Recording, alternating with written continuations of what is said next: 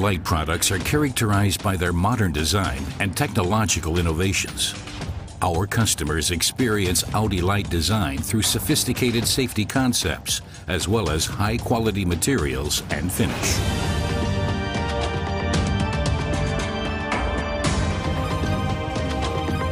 But it has been the invention by Nobel laureate in physics Shuji Nakamura who has revolutionized the use of lighting in the car. I developed blue LEDs, uh, missing color was uh, blue and green. So uh, I expected if I could invent blue and green LEDs, I could uh, make all, all kind of uh, colors.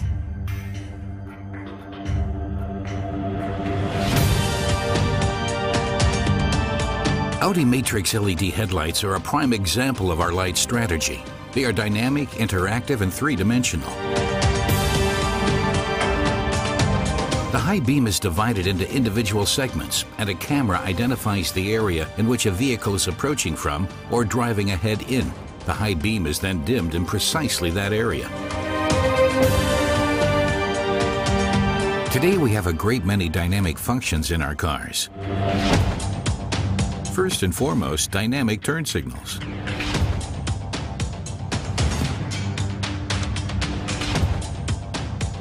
The turn signal goes from inside to outside so the direction in which a vehicle is turning can be seen clearly, even when the vehicle is partially obscured.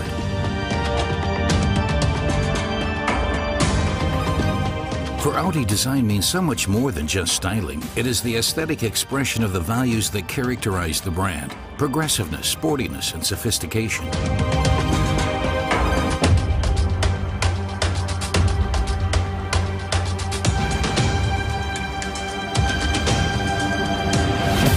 Laser light on the Audi R8 LMX doubles the range of the high beam compared with a conventional LED headlight. That gives us significantly greater safety at night. The laser headlight is intelligent, very intelligent. And development continues. In the coming years, more new, innovative technologies will find their way into series production. In pre-development, we are looking into solutions for arranging and configuring two-dimensional OLEDs in a three-dimensional way. Software will take on great importance. Why not offer light functions as an app?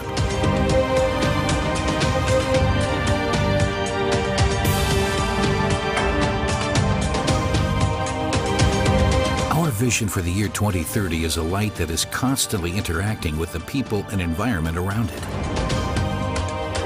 It is a vision with which Audi seeks to remain the leader in light innovation. And design, safety, and connection between man and environment will continue to be crucial in the future.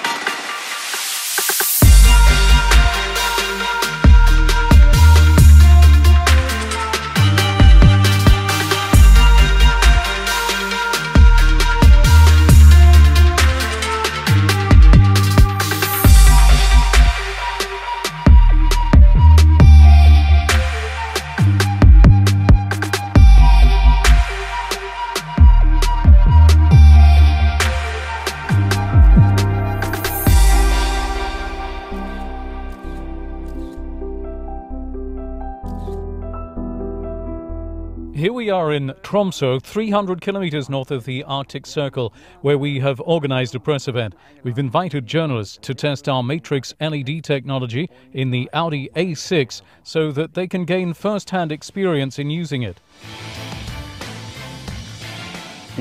Arctic conditions await the participants. Snow and early darkness will give us an opportunity to test lighting functions intensively under really extreme conditions.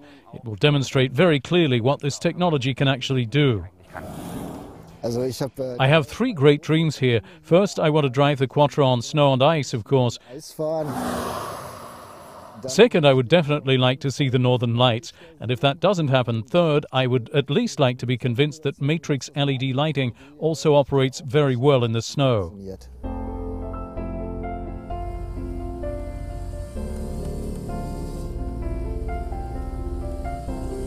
In Matrix LED technology, the high beam headlight is partitioned into various zones that can be controlled on an entirely individual basis. A vehicle camera is used to detect oncoming traffic and traffic ahead of the vehicle. Then those segments that would cause glare to the other road users are deactivated. The benefit to drivers is that they can continue to drive with the high beam lights active the entire time, and they do not have to worry about adjusting them. The driver gets better illumination and, of course, greater convenience and safety as well.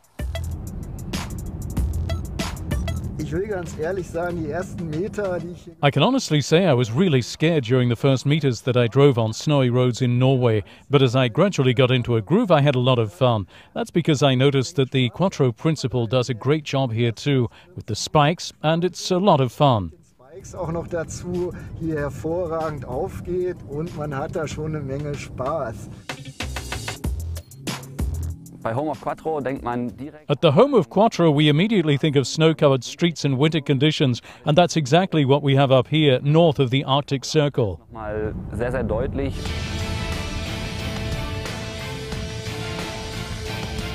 I've already driven Audis that have matrix lighting, and I've always been very impressed with everything it can do. Going fast here in the far north, the system operates excellently, and it gives an edge when it comes to lighting because you really can see further. I'm very satisfied. Every day we had polar lighting conditions. The journalists were enthused, and the results far exceeded even our expectations. I can just say that it went superbly.